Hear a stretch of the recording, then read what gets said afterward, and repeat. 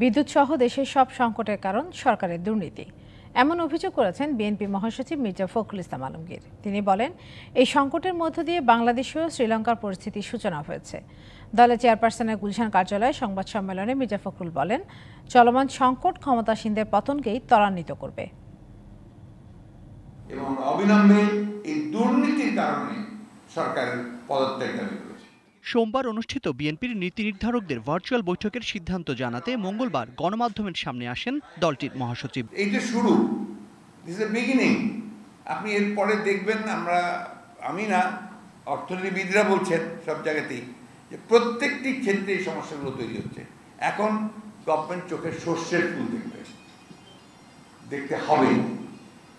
জনগণ ফুসে উঠছে, ফুসে উঠবে এবং তাদের পতন ত্বরান্বিত।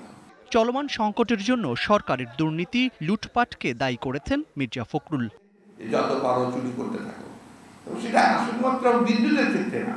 আপনি দেখেন প্রত্যেকটি ক্ষেত্রে প্রতিটি মেগা প্রজেক্টের কথা তারা বলছে সেই মেগা প্রজেক্ট কিন্তু প্রত্যেকটাতেই তারা একইভাবে সেই চুরি করার জন্য দুর্নীতি করার জন্য তারা জনগণের পকেট থেকে টাকা কেটে নিয়ে সেই টাকা প্রদান করা হচ্ছে। সেটার দিকে তাদের কোনো নজর নেই। যার ফলে কি হয়েছে? আজকে যে সংকট তৈরি হয়েছে এই সংকট তৈরির প্রধান কারণ হচ্ছে কিন্তু আপনার দুর্নীতি। আগামী নির্বাচন ও নির্বাচন কমিশনের সংলাপ নিয়ে দলের অবস্থানও তুলে ধরেন বিএনপি মহাসচিব। কেউ যদি তলোয়ার নিয়ে দাঁড়ায় আপনাকে রাইফেল বা আরেকটি তলোয়ার নিয়ে দাঁড়াইতে হবে। আমরা সহিংসতা বন্ধ করতে পারব না। নির্বাচন কমিশন সহিংসতা বন্ধ করতে না পারার অসহায়ত্ব প্রকাশ করেছে।